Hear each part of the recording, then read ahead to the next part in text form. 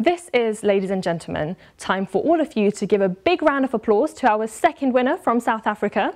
This year's 3G Responsible Wildlife Tourism Award goes to Kwantu Private Game Reserve.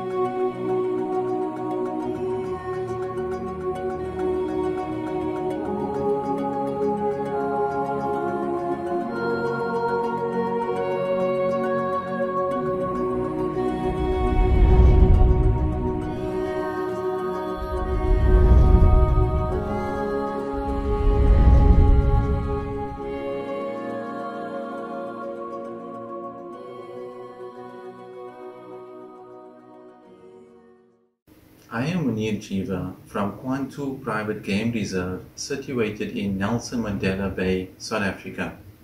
We are honored and humbled to receive the prestigious Global Good Governance 3G Award for the second consecutive year.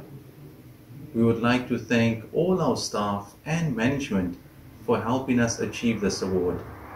It is the continued determination of service above self that has made us who we are today. We thank you.